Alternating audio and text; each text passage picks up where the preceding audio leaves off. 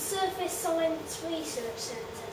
Yeah. What is surface science all about? Okay, it's actually there in the name. It's the science of surfaces. So you might think, well, why is that important? But if I look at you, Marcus, what do I see? I see the surface of Marcus, which is your skin. Hmm? This is a thing that interacts with the outside world and, and is very important to you. Now, what you find is the skin of things, the surfaces of things, uh, are, are incredibly important in a whole range of processes. Okay, so I have a slide here to show you some of the things uh, where surfaces are very important. So Marcus here uh, uh, is is, is a slide about catalysts. So you come from York, uh, but up near uh, Middlesbrough and so on, you used to have huge uh, industrial plants making making ammonia, for example. Now you make that, it's very difficult to take nitrogen and hydrogen together and make ammonia. It's a hard process. And the thing that drives it is a thing called a catalyst, which is essentially a surface of, of a metal, which is so reactive that they bring the two molecules together and create their reaction. Catalysts, which generally work uh, on, on reactions that take place at surfaces, underpin over 80% of industrial processes. And that's where the surface is working very hard to make uh, uh, new molecules, new kinds of, kinds of chemicals. If you look at semiconductors, yeah, trying to get mobile phones to work faster and quicker requires using surfaces of semiconductors and see how they work, right? Biomaterials, I don't know if you know anything about biomaterials, but do you know about hip, tra uh, hip transplants? Yeah? So if you hurt your hip, they put an artificial hip in there. But there's a problem.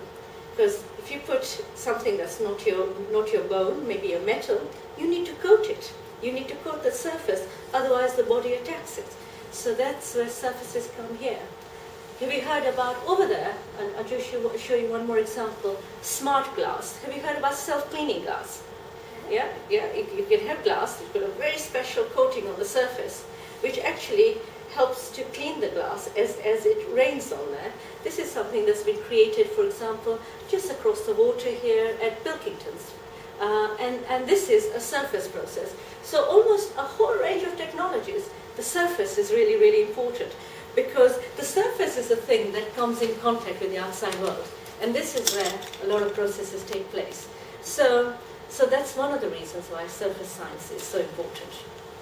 The second reason why it's so important is, is actually a challenge that was set to all of science in 1959 by a very famous scientist. I don't know if you've heard of him. Have you heard of uh, Feynman? You may not have heard of him. It rings a bell, yeah, but you, you will hear of him as you, as you go, go, go, go, go forward in your, in your career. Richard Feynman, he gave a very famous lecture and it's called There's Plenty of Room at the Bottom, which you probably can't see. And he gave it about this time of the year, nine, you know, in December, but in 1959. And you know, he stood there and he gave this lecture and he said he wanted to describe a new field of science. Yeah? So I'm going to read a little bit of what he says. He says it's a field in which very little has been done. Yeah? But in which an enormous amount could be done in principle. Yeah? It's a field that's not quite the same as any other. And what he wanted to talk about was how to look at very small things, how to manipulate and control things on a small scale. And so people listening to that first bit thought, oh, that's okay, we can do things on a small scale. But then Richard Feynman actually defined what he meant by the small scale. And so he, he kind of said, well, look, imagine, imagine I want to write something which is a code of 5 times 5 times 5. Yeah? How could I read it today? So imagine I wrote that with atoms, 5 atoms, 5 atoms, and out 5 atoms. Could I read it? In 1959, they only had the electron microscope, and that would not be good enough to read it. So he said, how can we, how can we create a science that will be able to see individual atoms. So you're diving right into the atomic world and you want to see individual atoms. So that was, a, that was a, a, a challenge he set us. And the second thing he said, like that challenge was not enough, he said, not only do I want you to see the individual, individual atoms, but could we, could we actually take control of them and arrange them exactly as we want them, all the way down? Yeah? So that what he was basically saying is that imagine I have these atoms. Okay, these are atoms in a molecule, but can I go and look at them? Can I can I visualize this at the atomic scale? And then can I take these atoms and move them about as I want? Can I have that kind of control? This would be the dream of chemistry. It's also the dream of physics. And if we realized this dream, we might be able to create a new kind of natural world, a biological world, which is comes close to something that nature has created over millions of years of evolution. So you think, well, what is this to do with surface science? Well, this was a massive challenge in the field. For a long time, we didn't know how to do this. Yeah? And then it became clear that we had to, we had to, we had to get over many obstacles to try and answer this question. Okay? So let me describe the problem, okay? I want to look at atoms, okay? So I want to put them somewhere where I can see them, okay? So maybe I want a surface. And then I want to put the atoms on there and I want to look at them, okay? And you think, oh, that's so easy, isn't it? Yeah, it doesn't seem that difficult. But let me give you the first problem, which is a really trivial problem. It's the equivalent of me giving you, oh, I don't know, a sticky toffee pudding, and I said, I want you to look at the surface of that. And he said, no problem. But I make it a little bit more uh, uh, difficult for you. I said, I want you to look at the surface of a sticky toffee pudding in the middle of a sandstorm in Sahara. Yeah. So you're sitting there in the desert, there's a huge sandstorm coming over, and you're sitting there with your, your, your, your, your, your sticky toffee pudding. What's going to happen? What do you think? It's going to get covered in sand. Yeah, you won't be able to get to the surface, yeah? So what, what would the answer be? What would you do? To shield it from the sand, so it's not sand can't get Exactly.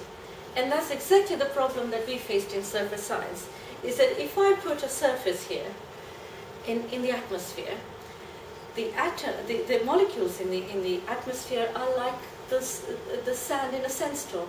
They're raining down on the surface and they're sticking onto that surface because the surface is very sticky. And so at no point, in no time at all, it's covered and we can't see it. So we have to shield it. Yeah? How would you shield it? Well, in a sandstorm, you could maybe create a tent, a tent and, do that. How do we do that here? Where we create a, a vacuum, yeah. And we have to create a fantastic vacuum to do this. So I'll, I'll show you. Later on, we'll go and see a, a chamber that has, we're actually going to see exactly this, this, this machine here. This is a machine that has very good vacuum in there. We pumped it down, so there's, what we have here is 10 millionth millionth of an atmosphere. So what we're breathing now is one atmosphere. We're reducing it down by a millionth, another millionth, and then 10 more. Yeah? So there's hardly any air in there. Now, now we're in a position to make, make, uh, make a clean surface to look at it. You know, that took a long time for, for the field to, to get to the point where we could do this. So now we create a clean surface. How do we look at the atoms? How do we look at the molecules on there? And we had to create in the field all sorts of techniques to try and try and look at look at these molecules and these are enormous, enormous uh, achievements in the field.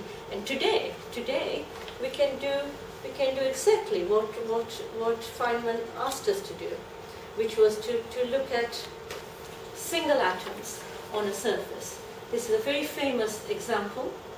This is uh, uh, uh done with a scanning tunneling microscope, the, uh, which was invented by Rohrer and Binnig they got a Nobel Prize in 1986, yeah? Before you were born, but this is very recent for, for me, right? And you can see here, can you see, can you see, what can you read here? What letters can you see? I, mm. Mm. Well, this was written by, by Dan Eigler, who worked at IBM, and he took xenon atoms, and he used, he used a very special microscope to take hold of the xenon atoms, pick them up, and put them in very particular positions so he could write this. This is probably some of the smallest graffiti you're ever going to see, right?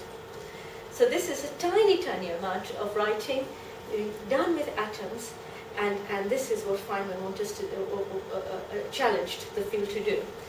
This, this happened in 1990, right? 31 years after Feynman had set the challenge, the surface scientists managed to do this. Finally, you heard about nanoscience, you, you know, when things get smaller and smaller, the science of very small things. Well, something interesting happens when you create, when, when things get smaller and smaller.